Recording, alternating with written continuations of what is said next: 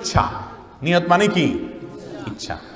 অনেকে বলে যে, আগামী বছর আমরা, হুজুর আপনাকে আমাদের মাহফিলে দাওয়াত দেওয়ার নিয়ত করছি।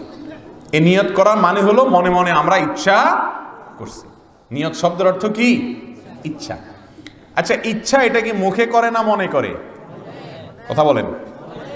ইচ্ছা কি মানুষ মনে মনে করে না মুখে দিয়া করে?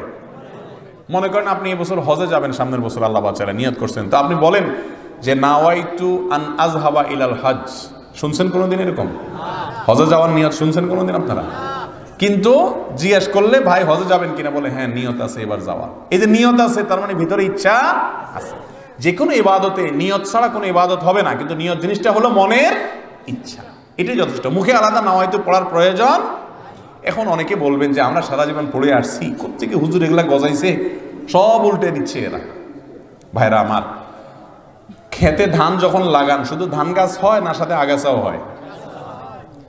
আগাছাগুলো ফেলে দিতে হয়, তাহলে ফসলটা সুন্নতের সাথে সাথে কিছু আগাছা, কিছু ভুলভ্রান্তিও সমাজে, কোরআন এবং হাদিসে যদি নাই, কিন্তু সমাজে সেটাকে ভালো কাজ মনে করে, ইসলামের কাজ মনে করে কেউ করে, তাহলে বুঝতে হবে এটার নাম আগাছা বেদাত।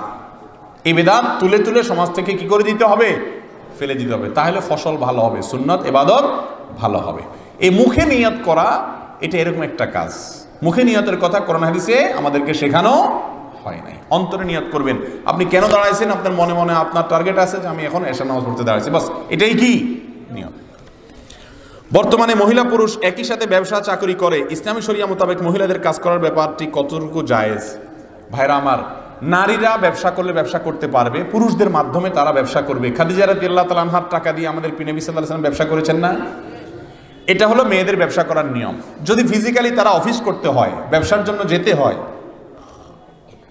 তাহলে সেটাও হালাল হবে যদি এগুলো ঠিক রেখে যদি করতে গিফট হিসাবে দেওয়াতে কোনো অসুবিধা নাই। মুশকিল হলো এই আংটিটার নাম হলো এঙ্গেজমেন্টের আংটি।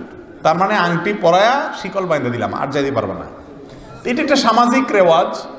এটা কি কেউ ইবাদত মনে করে করে না? করোনা হাদিসে কোথাও বিবাহের জন্য এরকম কোনো বুকিং সিস্টেম নাই। আসলে সিস্টেমটার মধ্যে ত্রুটি আছে।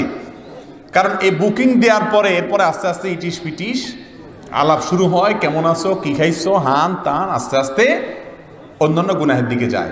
যতক্ষণ পর্যন্ত বিবাহের আগদ সম্পন্ন না হবে, দুইজন সাক্ষীর সামনে প্রস্তাব আর কবুল না হবে, ততক্ষণ পর্যন্ত বিবাহ সম্পাদন আংটি একটা না দশ আঙ্গুলে দশটা পড়াইলেও বিবাহ হয় না, যতক্ষণ পর্যন্ত আগদ না হবে। আর তার আগ পর্যন্ত কোনো প্রকার সম্পর্ক রাখা কি নাই? জায়েজ? কিন্তু আজকাল বলে বলে যে বোঝাপড়ার দরকার আছে। হঠাৎ একটা লোকরা আপনারা এগুলো কল্পনাও করতে, শুধুমাত্র প্রেমের গান মুখ দিয়া গায়া মিশামিশি তথাকথিত প্রেমের নাটক করলে হবে। আসল প্রেম ভালোবাসা এই চাচিদের সাথে চাচাদের ছিল। চুলাচুলি হইতো না। ওনাদের কোনো আংটি ফাংটি দেওয়া নেওয়া তো দিলে নিলে, হাদিয়া দিলে নিলে কোনো অসুবিধা নাই, আংটি হাদিয়া হিসেবে দেওয়া যেতে পারে। কিন্তু এটা দিলে আমার স্বামী হয়ে গেল, স্ত্রী হয়ে গেল, এবার আমরা আলাপ সালাপ করতে পারি, এরকম কোনো কথা সঠিক না। বরং এঙ্গেজ করে ঝুলে রেখা জেনার রাস্তা খোলা হয়, এটা